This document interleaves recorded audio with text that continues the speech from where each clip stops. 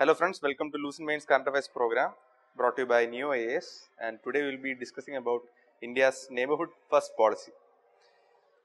Even before becoming the Prime Minister, Narendra Modi had hinted that his foreign policy will actively focus on improving ties with India's immediate neighbors which is being termed as neighborhood first policy in the foreign policy circles and he started well by inviting all heads of the states of South Asian countries to his inauguration and uh, on the second day of office uh, he held bilateral talks with all of them individually which was dubbed as a mini SAARC summit by the media. India and its neighbors. India's neighbors are Pakistan, Afghanistan, China, Nepal, Bhutan, Bangladesh and Sri Lanka. India has always been known as a peace loving country and has always strived hard to champion the cause of peace in the world. With India being situated in a politically turmoil geography, her relations with the neighbors are always characterized by ups and downs. The foreign policy orientations and attitudes of all our neighbors towards India exercises profound influence on the framers of India's foreign policy. In relation with neighbors, India has been following the five principles of peaceful coexistence coexistence known as the Panchsheel Treaty whereby India follows non-interference in others internal affairs and respect for each other's territorial unity, integrity and sovereignty. Also non-state actors like business communities and diaspora contribute towards the relationship via people-to-people -people contacts. With the exception of China and Pakistan, India has a cordial and friendly relations with all her neighbors, though problems keep brewing up. Now, what are the cause of concerns in the neighborhood? It, it is in South Asia where troubles are mounting that India cannot succeed in this volatile area without a mix of both hard and soft power. Also in South Asia, India is witnessing Chinese incursion into its sphere of influence as China seeks to be the foremost power in the entire Asian region.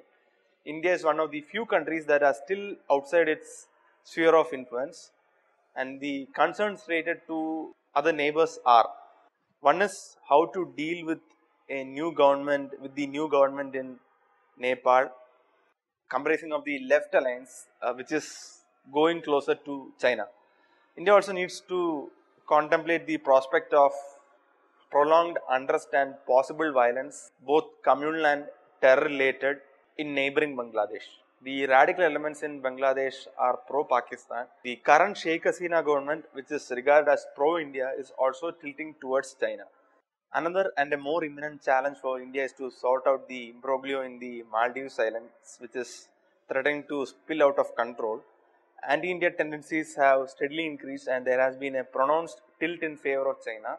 Now the present, uh, the outgoing president of Maldives has been pro-China and the new president Ibrahim Solih, India thinks that he would be tilting towards India again.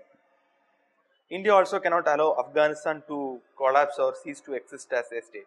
The daily massacre of innocent citizens, uh, men, women and children, also civilian officials marks the start of the complete collapse of a system of governance. This is something that demands India's critical attention and especially for a display of its leadership skills. India has supported the Afghan-led peace process and and has marked a departure from a position of not talking with Taliban and recently India sent a, sent two retired officials to the Moscow talks for the Afghan peace process which includes Taliban delegates. So Pakistan has been a concern since independence. Even after losing all the wars against India, Pakistan shows no sign of altering its anti-India trajectory. It has changed track to track to sending terrorists as opposed to fighting overt wars. Democratic India can hardly afford to let things slide without effectively trying to find ways and means to change the situation which is certainly not to our advantage. Now the neighborhood first policy of the government aims to improve interaction with its immediate neighbors and the Indian Ocean island states. It achieves various goals through a holistic approach to regional foreign policy like connectivity. Connectivity is a big facet of this policy with India entering into memorandum of understanding with members of South Asian Association for Regional Cooperation or SAARC. India has entered into memorandum of understanding with SAARC countries for cooperation in areas of trade, infrastructure, commercial linkages and transit facilities. These agreements ensure a free flow of resources, energy, goods, labor and information across borders.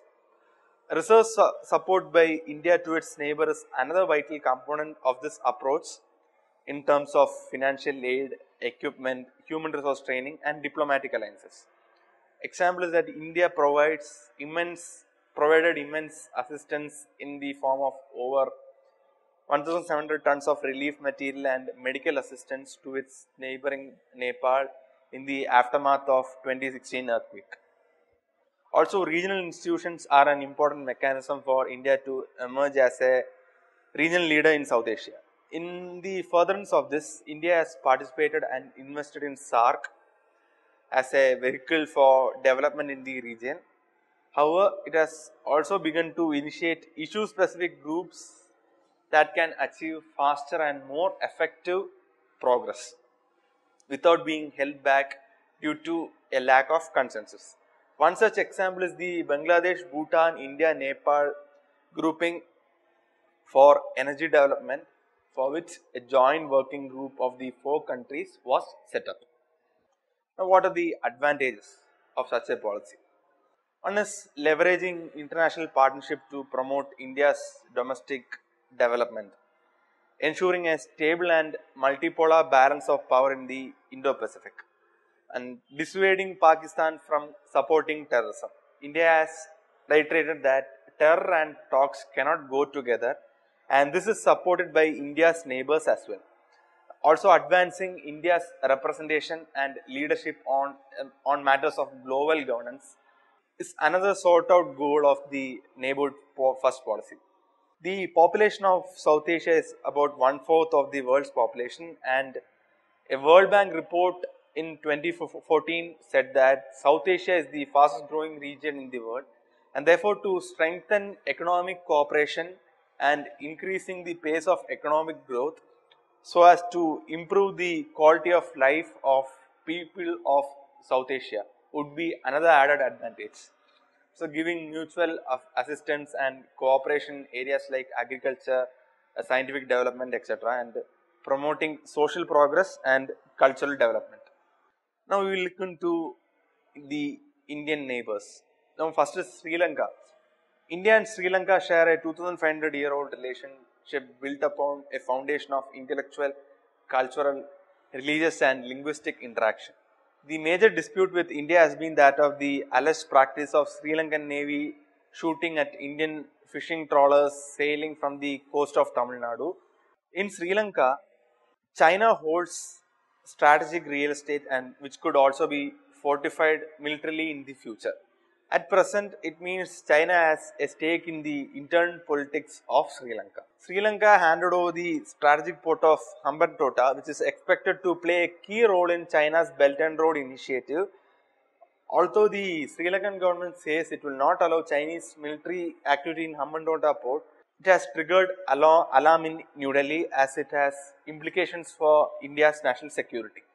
Now currently there is a constitutional crisis in Sri Lanka which has deepened as the prime minister was sacked and par the parliament was dissolved by the president Maithripala Sirisena. This has cleared the way for a snap election nearly two years ahead of schedule.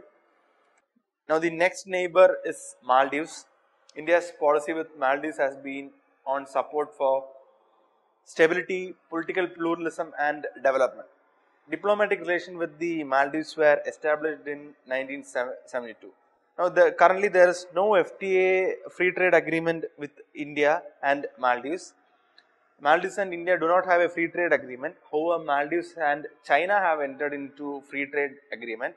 Maldives is another country in the South Asian region The South Asian region is uh, India's region of influence and India is the foremost power in this region and uh, Maldives and China entering into free trade agreement is a cause of concern because India fears that Maldives would be tilting towards China and using it to balance India.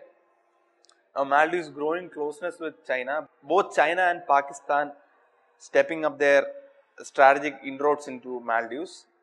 Under President Yamin, radicalization grew rapidly and it was said often said that the archipelago accounted for one of the highest numbers of foreign fighters in Syria. India can ill afford a neighbor which fails to check such a radicalization process.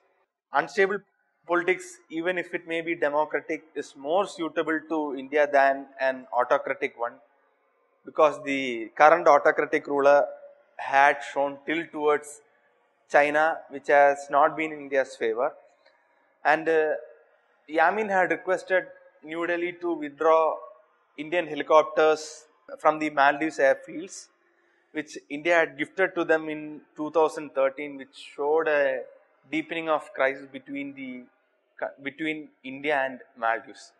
Now work permits are not currently being issued to Indian nationals in Maldives as well. It is expected that with the new government coming in, some of Maldives arrangements with China would be looked at and possibly India's concerns with regards to China and India would also be addressed. Next is Nepal. The diplomatic relations between India and Nepal were, was established in 1947 and it encourages democracy, pluralism, stability and socio-economic progress of both the nations. Now Modi's initial outreach to Nepal in 2014 managed to strike the right chord and capture the imagination of people and policymakers in Nepal. Government of India's support and aid after the Nepal earthquake has significantly strengthened, strengthened the relations. India however objected to Nepal's constitution of 2015 feeling it favored the upper caste hill tribes and disenfranchised the Tharus, Madhesis and the Janjatiyas communities that lived in the lower hills or the valley. Now ties between India and Nepal deteriorated after protesters on the India-Nepal border blockaded the movement of goods vehicles, slowing or stopping critical fuel and medical supplies towards Nepal and this fueled anti-India sentiments in Nepal. Now Kathmandu has already signed the Belt and Road Initiative which is likely to cement China's communication links with Nepal. Prime Minister Modi assured Nepal on his visit recently that Nepal topped India's neighborhood first policy. He has also announced a rupees 100 crore package to develop the Hindu pilgrimage city of Janakpur. Next is Bangladesh. India was the first nation to acknowledge Bangladesh as a separate and independent state and instituted the diplomatic relations in 1971 itself. The real benefit for India's neighborhood first approach is that Bangladesh has provided great strategic opportunity to change South Asia's geopolitical situation. Bangladesh continues to be the bright spot for India's neighborhood policy despite attempts by pro-Pakistan radical groups and ISI sponsored elements to derail the flourishing bilateral relationship. Bangladesh has emerged as a key gateway for India's sub-regional initiatives like the Bay of Bengal initiative for multi-sectoral technical and economic cooperation, the BIMSTEC and the Bangladesh, Bhutan, India, Nepal initiative, the BBIN initiative. In July 2014, New Delhi and Dhaka accepted the judgment of International Tribunal for the Law of the Sea and settled a long-standing maritime dispute between the two countries. Resolution on the maritime boundary line between Bangladesh and India in the exclusive economic zone and the continental shelf within and beyond 200 nautical miles were accepted by both sides. Prime Minister Narendra Modi and his Bangladeshi counterpart Sheikh Hasina jointly launched the construction of India-Bangladesh Friendship Product Pipeline project through video conferencing. Despite growing bonhomie, the long-standing deal on the sharing of waters of the Tista River is yet to be signed between the two countries. Next is Afghanistan. India and Afghanistan have developed a deep relation through historical and cultural links. Indo-Afghan relations have been further strengthened by the strategic partnership agreement signed in 2011. Modi's first Afghan visit came in December 2015 during which he had inaugurated the Afghanistan parliament building that was constructed with Indian assistance. India's assistance for reconstruction and development in Afghanistan stands at US dollar 2 billion. Afghanistan President Ghani has been extremely eager to reduce landlocked Afghanistan's reliance on Pakistan territory for trade and to corrode Pakistan's undesirable influence over Afghan affairs by improving ties with India. India and Af Afghanistan have also launched an air freight corridor in June 2017 and despite periodic op optimistic forecast of the Taliban being in retreat, terrorists and, and the and Taliban terrorism, various terrorist groups under check, Afghan situation is yet to stabilize. And with regards to the peace process, which I mentioned earlier, India supports an Afghan owned and Afghan led peace process. Next is Bhutan. The diplomatic relations between India and Bhutan were established in 1968 with the appointment of a resident representative of India in Thimphu, which is the capital of Bhutan. Bhutan is a landlocked nation and is highly dependent on India for access to sea trade and development aid. Mutually beneficial economic linkages between India and Bhutan have been an important element in the bilateral relationship. Now, the strategic importance is the Chumbi Valley, which is situated in the tri-junction of Bhutan, India and China and is 500 kilometers away from the Chicken Neck in North Bengal, which connects and connects the northeast with the rest of the country and therefore India's presence near the uh, presence and relation with Bhutan is highly critical for India. The hydropower projects were, were delays in construction and commissioning in Bhutan by Indian companies have led to the led to Bhutan's burgeoning national debt. India also needs to focus on pol policing cross-border trade. Also, the goods and service tax still hurts Bhutanese exporters and demonetization has left lasting scars on the banking system. India's effective neighborhood approach will prove conducive towards building a cohesive and durable relationship with Bhutan. Next is Pakistan.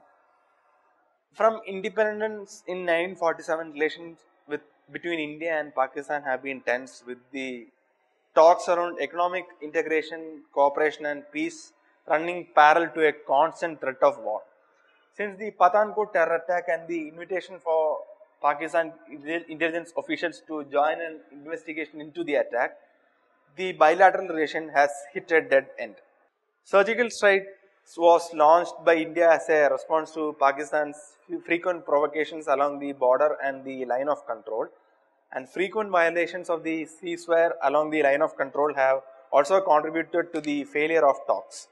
Um, the Modi government's policy of diplomatically isolating Pakistan does seem to be succeeding to some extent, but at the same time Islamabad has stepped up its diplomatic efforts to engage uh, Beijing Moscow and Tehran. A planned meeting between India and Pakistan's external affairs ministers had been called off due to brutal killings of our security personnel by Pakistan based entities and the recent release of a series of 20 postage stamps by Pakistan glorifying a terrorist and terrorism I mean, some of the reasons quoted by India for calling off talks. The virtual collapse of a Pakistan policy seems to affect Pakistan less and India more. Lastly and importantly, China. The personalized diplomacy during visit of Indian PM to China showed its the limits soon became apparent. In mid 2016, China blocked India's bid to join the nuclear suppliers group despite a meeting between the two leaders in Tashkent on the margins of the Shanghai, Cooperation Summit. Also the 73 day standoff at Doklam last year and the accompanying rhetoric which almost threatened to push the two countries towards a full blown out war. India is also wary of the Belt and Road Initiative of China India responded to all this by voicing its skepticism regarding Belt and Road Initiative and stepping up maritime engagement with the US and Japan and reviving the quadrilateral security dialogue. There's a, there's a widespread concern in India's policy making circles of Beijing's expanding presence in Pakistan, Nepal and now in Maldives. Both countries have also realized the risk of downward spiral of confrontation and are pragmatic enough to understand the need to restore a degree of balance to the relationship, especially after the 73 day standoff at Doklam. Prime Minister Modi and President Xi Jinping held their first informal summit in Wuhan in China on April 2018 to exchange views on overarching issues of bilateral and global importance and to elaborate their respective visions and priorities for national development in the context of the current and future international situation. The summit has had positive impact on ties and Indian government advised officials to stay away from events commemorating 60 years of Dalai Lama's exile in India. Both sides have agreed to undertake a joint project in Afghanistan. It is clear that there is an effort to bring the relationship on track. Now, what are the achievements so far? Oh, first, Modi invited all the SAARC leaders to his swearing in ceremony, and the subsequent day he held bilateral talks with all of them individually. South Asian satellite launched by India is intended to support telecommunication, broadcasting, and internet services, disaster management, telemedicine, teleeducation, weather forecasting in the whole of South Asia. The launch of South Asia satellite represents a wonderful integration of India's neighborhood first strategy. India and Bangladesh have signed pact to operationalize the historic land boundary agreement between both nations. The operationalization of the land boundary agreement paves the way for exchange of 162 enclaves under the control of either countries as per the 1974 pact. India Bangladesh developmental cooperation have scaled new heights and with India pledging a dollar 2 billion line of credit for Bangladesh, the largest single line of credit for any country committed by India. India is planning to build Trincomalee port in Sri Lanka. The port is envisioned as a as Indian counterweight to Chinese developments at Hambantota port. India and Nepal have signed a memorandum of understanding to build strategic railway line connecting Raxaul city in Bihar in India to Kathmandu, the capital of Nepal. But what are the shortfalls of the policy? One is India's incre increasing tendency to interfere in the domestic affairs of its smaller neighbors, either citing security implications or to offset unfriendly strategic choices. India interfered in Nepal's internal matters when their constitution was amended which the citizens and government of Nepal opposed. Also it is being said that India had interfered in the election process in Sri Lanka which brought Maithripala Sirisena into power because India had held that President, the former President Rajapaksa was pro-China and therefore India had to bring in someone who would be, who would tilt towards India. Also, last year ended with serious ceasefire violations along the line of control with the 200% increase in number of violations. Pakistan has also not refrained from persisting with its proxies like Lashkar-e-Taiba and the Jaish-e-Mohammed in its war with India. Pakistan shows no sign of altering its anti-India trajectory and China has embarked on a series of infrastructure development projects, most of them as part of its Belt and Road Initiative which many strategic experts fear can leave India isolated regionally and encircled by Chinese allies. India has been struggling to compete with China across different regions where many nations are now economically dependent on China. The biggest threat of this is that China would become the hegemonic power in Asia, uh, Asia and uh, India would lose its foremost power status in South Asia also and would have to play second fiddle to China in this region. Now the anti-India sentiments is slowly getting rooted in the minds of people of Bhutan due to India's big brother attitude and its economic dependence to India. India may use this economic dependence for its gains in the region. Now, demonetization. Demonetization rattled countries like Nepal, Bangladesh, Bhutan, Sri Lanka and Myanmar which had encouraged the use of Indian currency as a parallel currency within their borders. Now, what is the way forward? As the largest country, India should be leading the South Asia project, establishing cross-border transport and communication links, opening up its markets and its own transport infrastructure to its neighbors and becoming the preferred source of capital and technology for their development. Instead of fearing Chinese inroads into the subcontinent, the only effective response could be to build a countervailing presence which is eminently possible given our geographical as well as cultural proximity to our neighbors. Our security preoccupations including cross-border terrorism and uh, activities of other non-state actors are likely to be addressed with greater seriousness if we encourage our neighbors to build stake in India's own prosperity and capabilities. India's immediate neighborhood directly impacts India geopolitically, geostrategically and geoeconomically because of its vicinity. Whatever be the ambit of India's reach elsewhere, India's principal focus will need to be on this neighborhood. Thank you.